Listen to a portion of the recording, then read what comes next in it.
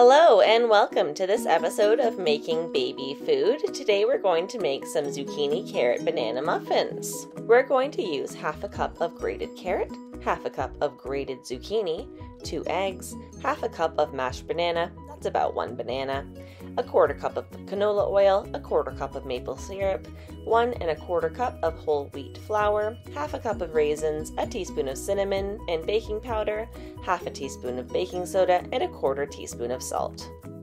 I wanted to talk a little bit about how we know that baby is ready to start foods. If baby is between 4 and 6 months old, typically you start introducing some foods. You want to make sure that they are ready though.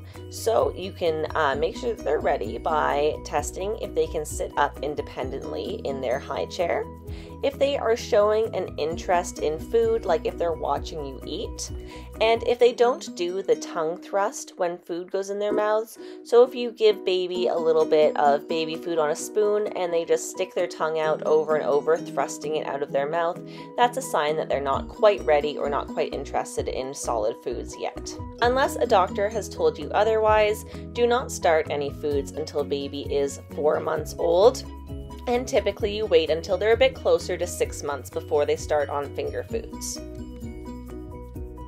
You're going to start with mashing your banana and then grating your carrot. So you'll need about half of a full sized carrot. Grate that over your bowl until you have about your half a cup of grated carrot.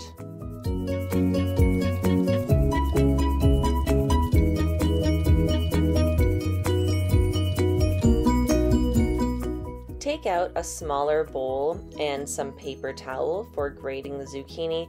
You're going to grate it right onto that paper towel and then squeeze out all of the moisture that you can.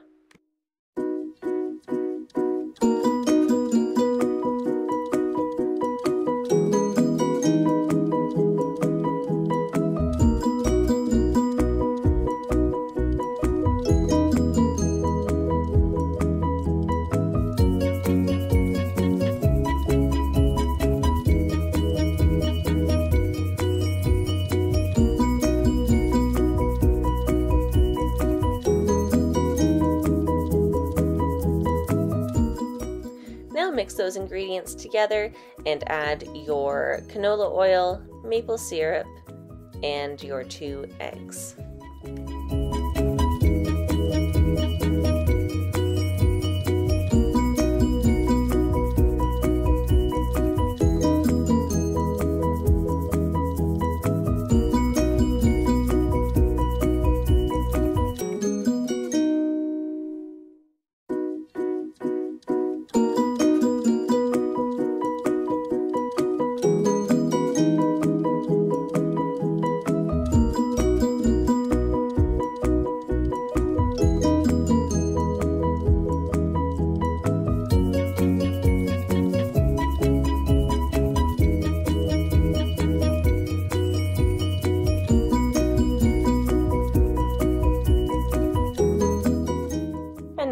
Add in our dry ingredients. So you're going to use your flour, baking powder, baking soda, raisins, cinnamon, and salt.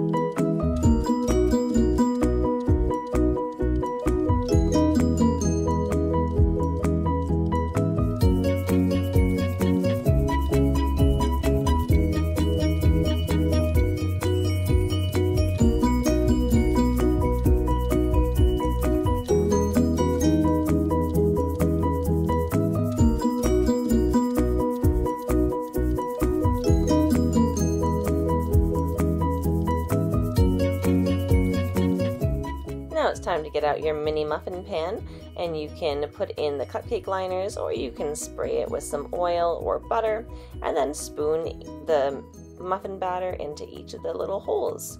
So I did mini muffins and they took about 15 minutes in the oven. If you're doing full sized muffins, I would check them after about 25 minutes.